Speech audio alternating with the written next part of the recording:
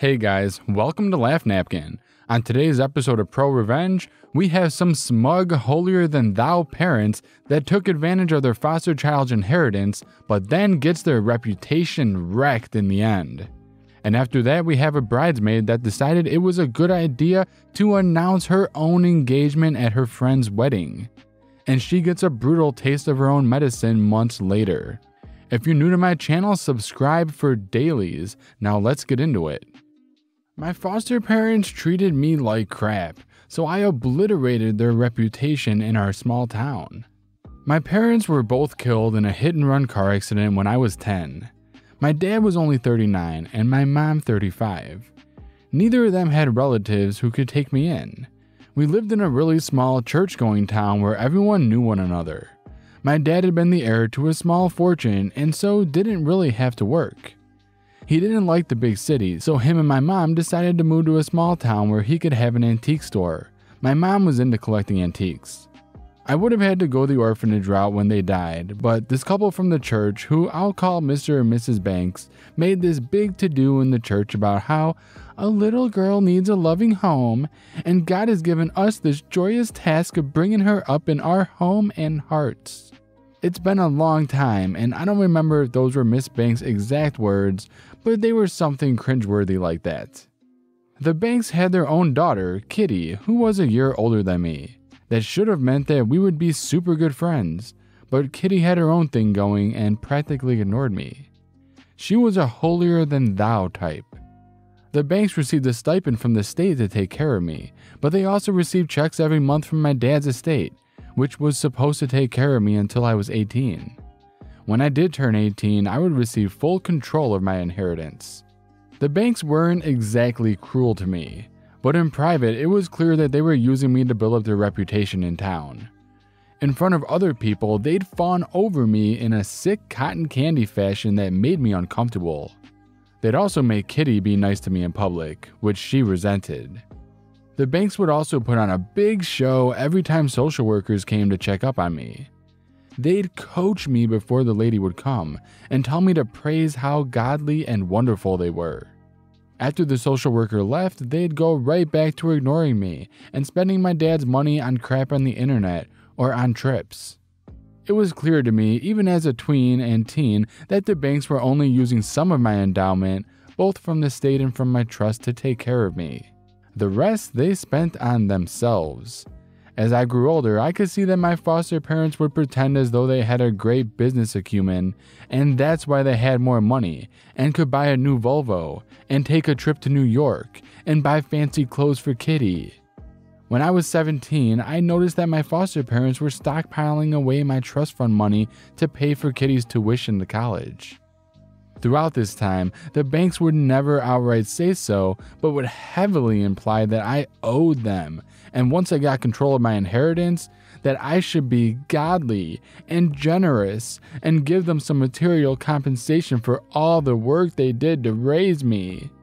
I think they already got lots of material, especially since Mrs. Banks practically stole all my mom's antiques from her store and kept them for herself gave them to Kitty or to other relatives.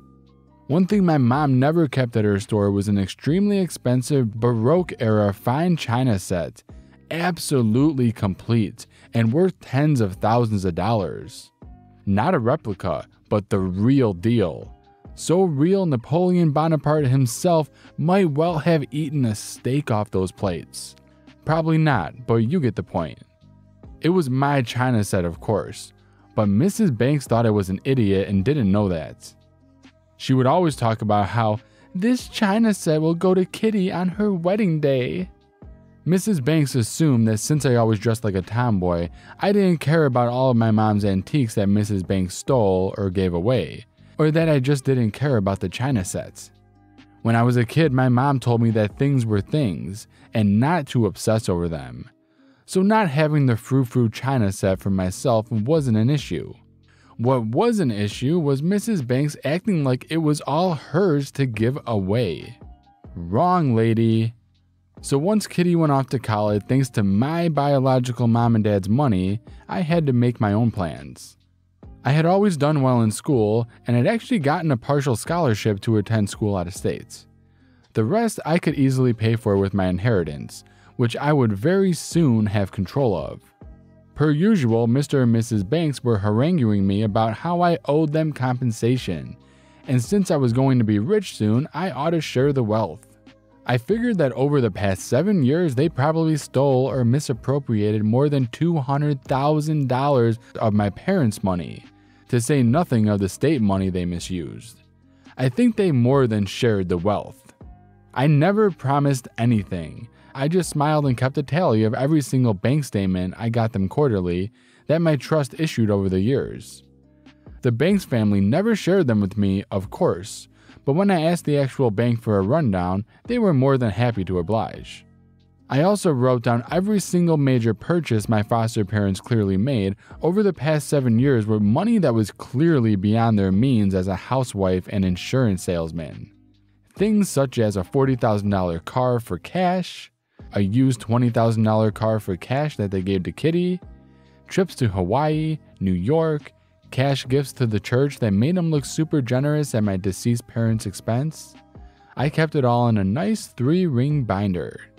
I already arranged my travels to my new campus. I didn't have much stuff at the bank's house anyway, and had zero intention of coming back, at least to their home. The banks knew I was leaving, but didn't bother seeing me off because they assumed I'd come back to give them their due. I waited for our church's yearly antique sale extravaganza, set to begin in three days. Per usual, the banks donated all sorts of random stuff, many of it knickknacks that used to belong to my mom and technically belonged to me. They weren't shy about giving my stuff away and taking credit for it. While Mr. and Mrs. Banks were on one of their shopping sprees with my parents' money and away from their house, I boxed up the china set and brought it to the church.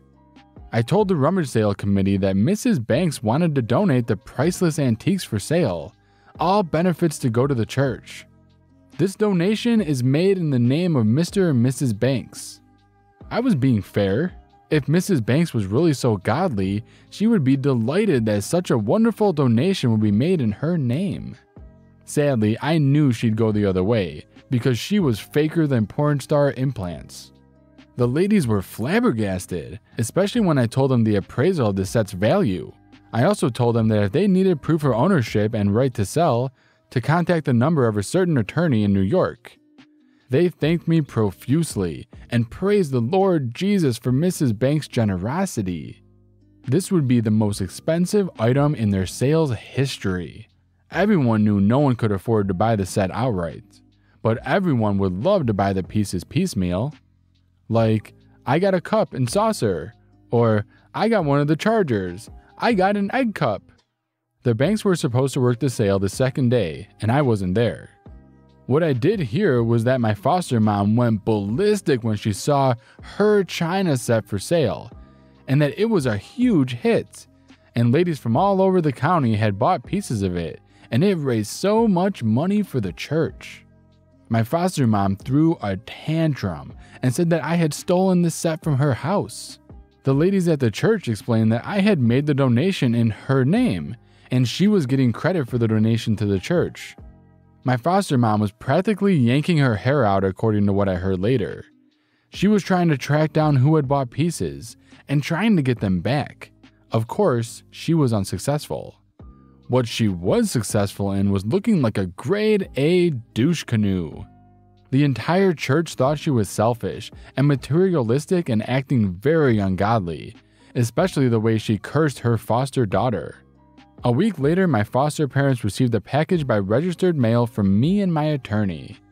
It contained my binder, where I showed my bank statements and also a list of all their spending extravagances.